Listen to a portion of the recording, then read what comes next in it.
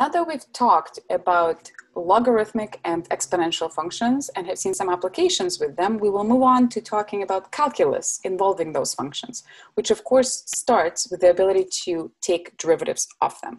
I'm not going to derive the very first rule I'm going to give you, but the derivative of e to the x is kind of what makes it one of the nicest functions to study in calculus because its derivative is simply itself. Okay, so you can think of e to the x as being a very egoistic function because it likes itself so much, its derivative is simply itself. This is not quite the case with the exponential functions of different base. The derivative of that here will also be itself, but then followed by the ln of the base. Notice that it's actually kind of the same here. This is followed by ln e, but ln e is 1. For a quick example here, let's take a look at how one would take a derivative of, let's say, e to power 3x. Okay, so remember that all of the differentiation rules we've covered up until now will still apply no matter what the function you're taking the derivative of is.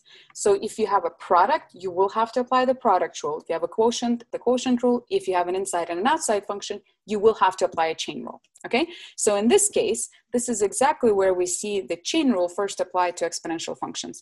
We have not just e to the x, but rather e to some other power, 3x. So here we have to pause for a minute and think about what is the inside and what is the outside function. So this function e is actually the outside and my power in this case is the inside function.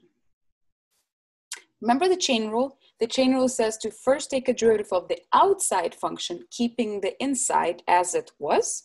So the outside function is e to some power, which has the derivative as itself. So the outside derivative is simply e to power 3x, followed by the derivative of the inside. The inside here is 3x. The derivative of 3x is simply 3. Okay, you will do more examples in class, but let me just do one other one here. What if we were to take a derivative of, let's say, e to power x squared plus 1? Same idea. Now we have the outside function is still e, the inside is still the power. So I'm going to take the derivative of the outside first and keep the inside intact. So the outside function is e, its derivative is itself. So e to whatever power it happened to be, x squared plus 1, followed by the derivative of the inside, 2x. Okay? Now, this is for the derivatives of the exponential functions. What about logarithmic ones? So the function, a logarithmic one, let's take a look at the one with base e, because again, that's gonna be the one that we mostly work with anyways. So this is the function whose derivative I'm after. So if it's y equals ln x, it's y prime that I am seeking. Now, we already know how to take derivatives of exponential functions. So the, as the first step, it would make sense to transform this function into an exponential function whose derivative we already know how to take, and then apply implicit differentiation. Okay, so as the very first step, I'm going to rewrite that as the exponential function. There's a couple of ways to think about it. I know you guys have practiced turning exponentials into logarithms and back. So turning this into an exponential function, you should get e to the power y is equal to x. Now, once again, I already know how to take derivatives of exponential functions, so I can simply apply in implicit differentiation to this entire equation. Okay, so we will take a derivative of that as is. What do we get on the left-hand side? On the left-hand side, we have e to power something. So the derivative here is itself, except for the inside of it is not just x, but y, which is a function of x, which means that, as implicit differentiation suggests, I should follow up by the derivative of y, which is y prime it's implicit differentiation. I don't know what y prime is. I'm just going to keep it as a packaged deal here. And then equals to the derivative of the right-hand side. The derivative of x is just one, so I have just one. Now remember, I'm after y prime, so I'm going to solve this equation for y prime. What do I get? I get 1 over e to power y. And this is allegedly my answer. So the derivative of ln x is 1 over e to power y. Preferably, my answer will only contain x's. So I'm wondering if I can replace this y with some x, with the function of x that it corresponds to. And remember that y itself is just ln x. So if I plug it back into here, what am I going to get? I'm going to have 1 over e to the power ln of x. E exponentials and logarithms are inverses of each other. So I'm going to get simply 1 over. Excellent. So that means that the derivative of ln of x is just 1 over x. Okay, and once again, all of the same differentiation rules that we have seen before still apply to this function here. So for example, um, ln of, let's say 5x, the derivative of that. So here, once again, you have to think about what is the outside function and what is the inside function, because clearly the inside is not just x anymore. In this case, logarithm is the outside function. It's a logarithm of something. So this guy is the outside function. And whatever lives inside of it is then the inside function. Okay, so as per chain rule, I first take a derivative of the outside, which is ln of something, and the derivative of ln of x is just 1 over the inside. Keeping the inside intact, the derivative of ln of 5x is first of all 1 over 5x, 1 over all of the inside, times the derivative of the inside. The inside is 5x, the derivative of it is just 5. Okay, and that's your answer here just for a little bit of extra practice, maybe try taking the derivative of x times ln x, just to remind yourself that all of the differentiation rules will be inherited for all the functions. So here, it's first of all a product, which means that we will have to apply a product rule, and then whatever other derivatives that we need to take equipped with the now newfound ability to take derivatives of exponential and logarithmic functions, we can move on to talk about how to do calculus using those functions. So how to find global or local maximum minimum, inflection points, sketch the functions, and so on. Our first application is that of cardiac output, which is the volume of blood pumped out by the heart per unit time, or sometimes measured as per heartbeat. One of the most common techniques to actually measure the cardiac output and therefore how well your heart actually pumps blood is through thermodilution. Believe it or not, this is a minimally invasive procedure that can be done bedside, but it involves inserting a catheter into the heart and then as it goes through the right atrium, releasing a small amount of cold dextrose or saline solution and then tracking how the temperature of it changes on heart's exit. Okay, so here in at the exit of the pulmonary artery. Okay, so the, the cold temperature of the actual solution warms up as it travels through the heart. And the faster its temperature returns to normal, the better your cardiac output actually is because the faster your heart managed to get that solution out.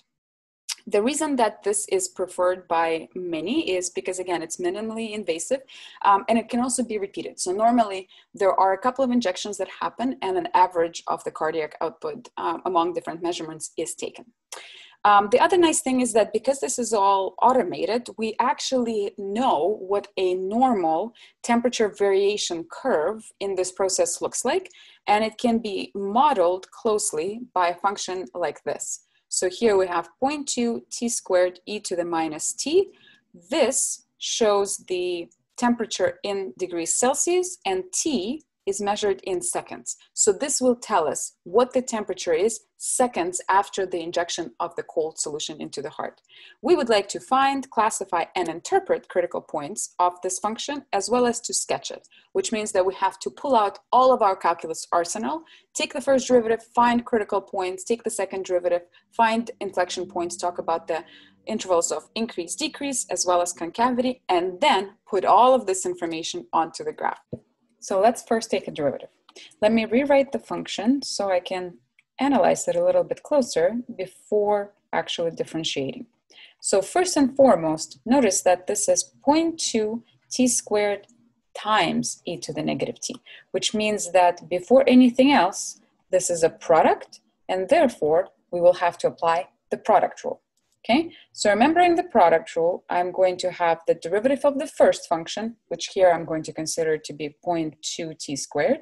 So the derivative of that is 0.2 times 2t, and then we leave the second function alone, plus we leave the first piece and take a derivative of the second function. So now I have to take a derivative of e to the negative t, which is itself, times the derivative of its inside. Its inside is minus t, so the derivative of that is minus 1. Now, in order for me to better see what is actually going on here, I'm going to try to simplify this expression by factoring things out. So I'm going to look at both of these terms and see what it is that they have in common that I can take outside of the brackets. Clearly, they have a 0.2 in common. There's also a factor of t, here and here, there's actually t squared, so I'll be able to take one of them out. And there's also e to the negative t in both terms. So I can take out this entire um, factor, and then what I will have left, well, let's say I took out 0.2, I will have 2 left here. I took out the t, and I took out e to the negative t. So from the first factor, I, from the first summand, I only have 2 left. And from the second one, we took out 0.2, 1 of t's e to the negative t. I will have minus 1 remaining, and I will also have a little factor of t there. So altogether, there will be 2 minus t left in the brackets. Okay, sorry. Um, so for the critical points here, again, remember that I need to set my derivative to be 0 or does not exist. Factoring is particularly helpful for solving something to be 0 because factoring turns anything into a product, and a product is only zero if one of the factors is zero. So here I simply need to now analyze this entire expression factor by factor. Point two can never be zero. t is zero when t is zero. e to the negative t, which is our next term, is never going to be zero no matter what power you raise e to, it's always going to give you a positive result. And this is one of the nicest things about analyzing exponential functions. You can think of that in terms of the graph, or you can actually think about that in terms of raising something to the power. No matter what function I pick, what number I pick, if I raise e to that number, the result will always be positive. So e to the negative t is never zero, so that produces no solutions. And this bracket, 2 minus t, is equal to 0 when t is equal to 2. So those will be my two critical points, 0 and 2. Um, from this case, and then I also need to consider when does the derivative not exist? Well, let's take a look at the actual derivative. This is it. Are there any numbers that I will not be able to plug in? Well, not really. This is a power, so I can plug in anything, and the rest of it is polynomial, so I can plug in anything again. So this has no solutions. Okay, so I only have two critical points, and I'm going to analyze the first derivative by drawing a number line, putting both of those points on. Now, of course, notice that um, t being measured in seconds after the injection means that t cannot be negative. I'm going to include this in my analysis just to get a fuller picture of what the function looks like mathematically. Uh, now I can plug in all the different numbers in these intervals. So if I plug in something negative, I'm going to be plugging it into the derivative. Let's see what happens. 0.2 is positive. If I plug in a negative number, t will be negative. e to the negative t will be positive no matter what. And then this will be a negative number here, which will become positive with a minus in the front. So altogether, this contribution will become negative, this contribution will stay positive, so I have negative altogether. You can use a similar logic for all the other intervals, or if you prefer, you can grab a calculator and just actually plug in a number in. I find that thinking it through is actually faster in the end, because for example, again, here, if I plug in a one into this entire expression, this whole part is positive, because once again, I don't even need to bother plugging anything into e to some power. That will always remain positive. And 0.2 times 1 is positive. 2 minus 1 is also positive. Positive times a positive gives me a positive. The last one will be negative. And thinking in terms of the function, that means that the function was first decreasing and then increasing and then decreasing again, producing a local minimum at 0 and a local maximum at 2. So this is the situation for the local extrema, which is what the first derivative analysis will give us. Um, local minimum at zero is not surprising. That's when the injection first happens. But let's try to think about what does it mean to have a local maximum at two? Well, that requires thinking back in what the T is measured in, and that is measured in degrees below normal temperature. So local maximum being at two means in two seconds, we have the greatest uh, difference between the measured temperature and the normal temperature. That's when the cooling down effect is the most noticeable. So in two seconds after the injection, the temperature drops the most. And this is how one can interpret the first derivative in this case. Let's now take a look at the second derivative and its analysis in order to determine potential inflection points and intervals of concavity. Um, so if you carefully take the second derivative, you should get an expression that looks like this. Once factored out, 0.2 e to the negative t, t squared minus 4t plus 2. Um, once again, you factor it out in order to be able to better analyze when it's actually equal to zero. So our potential inflection points are going to be when the second derivative is either equal to zero or does not exist. Once again, going through this, the second derivative being zero means one of the factors has to be zero. 0.2 is never zero. e to the negative t once again is never actually zero or negative, which means that we only need to solve for this quadratic to be zero. Now, a lot of times you are able to find nice solutions to quadratic equations. This is not one of those cases. In this case, you will have to apply a quadratic formula, and it will produce two slightly um, ugly solutions, 2 plus or minus square root of 2, which are approximately equal to 0.58 and 3.41.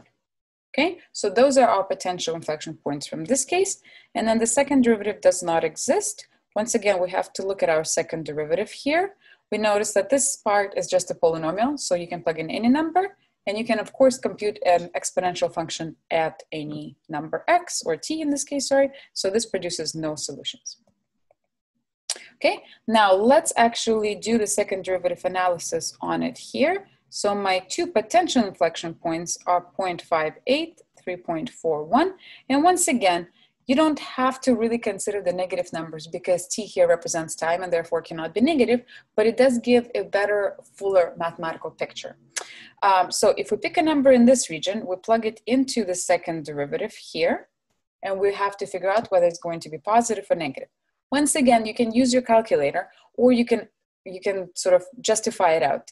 This entire part will always be positive no matter what you plug in. So we really only have to figure out whether this quadratic is positive or negative for the chosen numbers. It's going to be positive and then negative and then positive, which means that the function is concave up and then concave down and then concave up.